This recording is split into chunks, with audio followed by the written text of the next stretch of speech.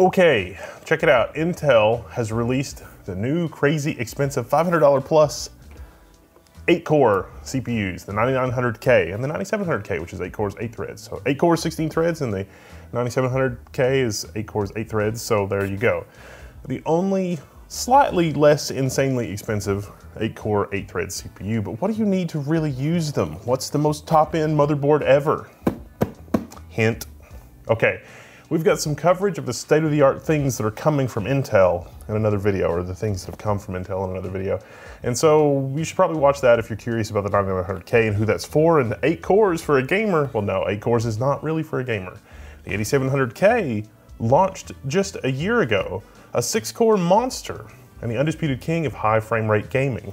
And there's an argument to be made that, you know, for gaming, six cores, eight cores, I mean, 8700K is fine. So while not the fastest, there are also alternative options which uh, are on the market that would deliver nearly as good of performance, but at like half the price.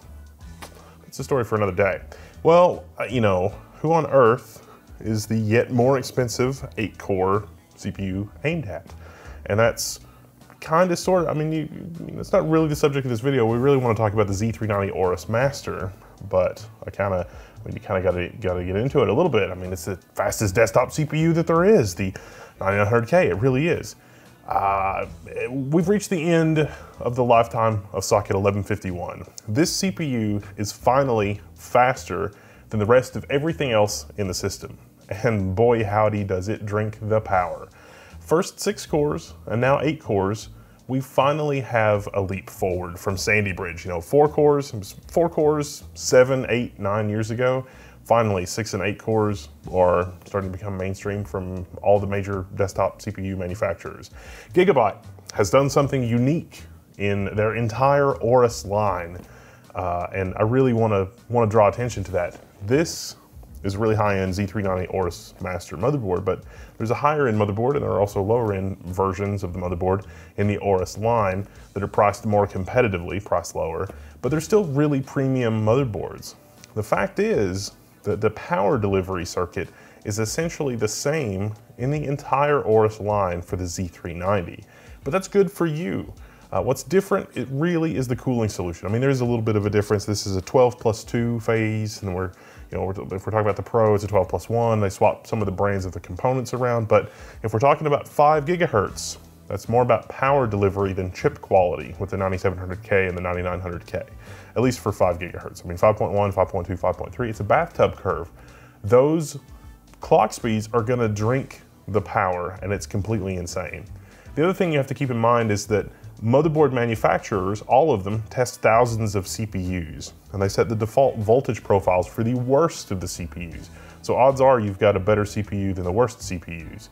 So just about any board in the Aorus stack, if your CPU can do 5 gigahertz, these boards can deliver everything that you need for 5 gigahertz on all 8 of those cores. But if you're going to push up to 5.1, 5.2, 5.3 gigahertz, well, I mean, that level of power, you're going to need probably a more extreme motherboard, or at least a motherboard with, with better cooling, like true FinStack VRM cooling and heat pipe cooling for the VRM, all sorts of other stuff like that. And this, this is the pinnacle of that. Well, well, I guess actually the Aorus Extreme would be the pinnacle if you want 10 gig of Quantia Ethernet and all that kind of stuff. But this is the Z390 Aorus Master. So the heat pipe connecting the power delivery circuitry on both the top and bottom of the motherboard so that all the components, all the VRM components of the motherboard uh, that make heat other than the CPU, that heat is managed and that heat is carried to the top of the board for those fin stack heat sinks and there's more airflow. So when you are doing 5.2 or 5.3 gigahertz, you've got the power delivery system on this motherboard enable in, order to be able to do it. And 5.2 gigahertz 24 hour stable on the 9900K is what I was able to achieve. This is a retail 9900K because I don't, it's, it's, it's it, well, that's a story for another time. In addition, the motherboard PCB has more copper than ever and a revised power delivery plane. There's actually so much copper here that the copper will act kind of like a heatsink, or so they tell me. But, you know, it's not just about power delivery on the motherboard, although most of the clock speed, like overclocking and doing your stuff on the 9900K is gonna have to do with power delivery. So this motherboard has built-in Intel Gigabit Wi-Fi and CNVI. Uh, that's uh, the USB, or that's got the like the USB combo, not really PCI Express interface. Uh, and it also supports insanely overclocked memory. So we tested the G.Skill Trident Z DDR4 4000 for stability, and it was rock solid. Between the overclock and moving from six to eight cores, the faster memory uh, operations do actually help. Like being able to run your memory at 45 gigabytes per second to keep those eight CPUs fed uh, kind of matters a little bit more when you're talking about eight cores versus four cores. I mean, forever, it was the case that memory faster than 2666 on Intel really didn't make much of a difference. And now we're talking about eight cores, and whether it's eight cores, eight threads on the 9700K or eight cores, 16 threads on the 9900K, it's about keeping that CPU fed. But let's talk about the PCI Express slots and the PCIe layout on this board.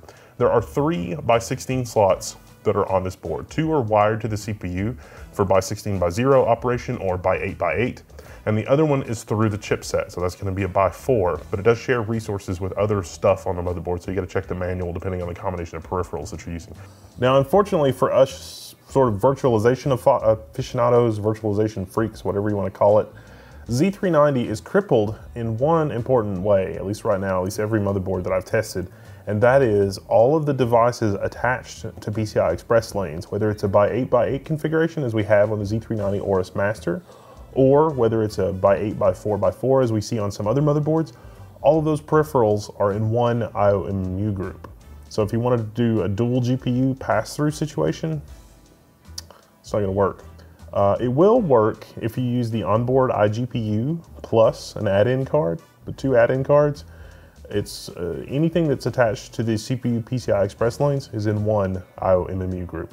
It's unfortunate, but that's how it is on Z390. I expect the X299 and the 9900X processor, the, the you know, socket 2011 uh, or, not, or 2066, the socket 2066 version of that CPU to be uh, a little better in that regard, but we'll see. Now Gigabyte has also gone to the trouble of testing and labeling the temperature sensors that show up from the, the, the platform controller thingy on this motherboard for uh, software like Hardware Info. So when you want to run Hardware Info and you've got all the list of temperature probes, Gigabyte has now provided a map of where those temperature sensors go and uh, you know and easily figure out which temperature sensor is reporting what temperature and physically where that is. I mean, I'm not sure why I didn't think of doing that myself in my motherboard reviews. So maybe that's something that I should do. So yeah, I mean, it's like, it's like a, oh yeah, duh, we should probably do that. At the rear I.O., we have a power button and a clear CMOS button. It might be nice if the clear CMOS button were a little bit more recessed, honestly. We've got our antenna connection. That's for our CNVI 2x2 uh, 802.11 wireless solution. And we got four USB 2.0 ports, two USB 2 DAC up ports, which have options in the BIOS for slightly increasing the voltage, which will help with stability issues. Like the Focusrite I2i, if you boost the voltage by 0.1 volts, it turns from not exactly stable to a lot more stable. Got HDMI out for the integrated iGPU if you're gonna run multi-monitor. Then we've got four USB 3.0, you know, Gen 2, 10 gigabit, whatever. One type A, one type C, and then two more underneath the ethernet adapter. The ethernet adapter is an Intel ethernet adapter. It's the one that's built into the, you know, 9 series CPU. And then we've got our ESS Sabre, you know, it's a Realtek 1220 codec, but it's got the ESS Sabre codec, uh, audio uh, amplifier and stuff like that. It has optical SPDIF and gold-plated I.O. One last note, the PCIe slot layout on this motherboard is ideal for running SLI if SLI is your thing. Now, I personally think SLI is going the way of the dinosaur. It's not really practical anymore, but you can run dual triple slot cards. So one other cool feature of this board is that it offers USB charging from the front panel. Gigabyte offers utility software for quick charge that will enable you to do Android quick charge or Apple, even Apple quick charge through the USB ports up to 18 watts. Now it doesn't auto detect Apple or Android, you gotta set it in the software, but once you set it, it does remember. I'll also mention really quickly that Gigabyte's software RGB bundle now integrates RGB sync across motherboard, GPU, and other devices like the keyboard. So, you know, again, I've got a retail 9900K, and so far, this board is the only board that I've been able to make overnight stable at 5.2 gigahertz and only 1.27 volts. So that's with my retail CPU. That's a Cinebench score of about 2305. and uh, 46760 thereabouts megabytes per second as reported by AIDA64 for memory read speeds. So, you know, if you want something that's even more overkill, maybe you want a Quantia 10 gig Ethernet, uh, an Ethernet interface, maybe you want a, something higher end like that. Well, Z390 Aorus Extreme would be something that you should look at. But maybe this is overkill. Maybe you want to drop down to the Pro. You can totally do that. That'll change the 12 plus 2 VRM configuration to a 12 plus 1 but that's still plenty enough for your, you know, your 5.2 gigahertz overclock. Gigabyte really is doing something special with their motherboard stack and their video card stack by sort of simplifying the features. You know, in in past is like a is a gaming six better than like the gaming something else that's kind of a similar model. Which one's actually better? You can actually choose the motherboard now on the features that you want and know that the VRM power delivery, at least for the 9000 series CPUs, it's all there to support 5 gigahertz, you know, basically across the board. I'd still recommend the Aorus boards sort of at the higher end of the stack like this, especially if you're gonna shell out over $500 for an 8-core 9900K CPU, but the stability, the stability and, and cool operation sort of speak for itself. But really, unless you're a content creator and doing gaming and streaming, you know, the whole nine yards. Uh, this is this is honestly this is overkill. This whole setup is really overkill. I mean, I love eight cores for Linux though, and VMs, and and so maybe in that scenario it makes sense, especially if you're gonna gonna earn a little bit of money and do some stuff like that. But you're not, you know, you're not totally earning your salary, but you're making good hobby money. You know, maybe something like that for an 8700K uh, or an 8700K with a D-lid on this motherboard at 5.3 gigahertz or higher, this motherboard is probably overkill in terms of power delivery for that six core 8700K part. So you can maybe save a few bucks and move down the Aorus stack for another motherboard. But I will tell you, the 9900K, 95 watt TDP, that's lies. That is all lies. Uh, you're looking at more like 150 watts plus, especially if you're gonna do that 5.0, 5.1 gigahertz honestly, I think everybody with a 9900K, unless you're like one in a thousand unlucky person, five gigahertz on all cores is basically gonna be rock solid with the CPU as long as you're managing the heat with good cooling. Really, the most disappointing thing about the whole Z390 9000 series CPU launch is that the CPU is so darn fast, but I can't run by 16 graphics and M.2 RAID at the same time. There's just not enough PCI Express connectivity. I'm gonna have to wait to the 9900X on the X299 platform in order to do that. The other thing that really sucks is availability. Uh, it's not because the CPUs are super popular, I think. I think it's because there's just not enough manufacturing capacity to go around. And so that's, that's driving the prices of these CPUs up even a little bit more. So, you know, if you're impatient, there's some other stuff on the market you could check out, but it is the fastest single core speed. And this is you know, computationally the fastest eight core desktop CPU, but it will cost.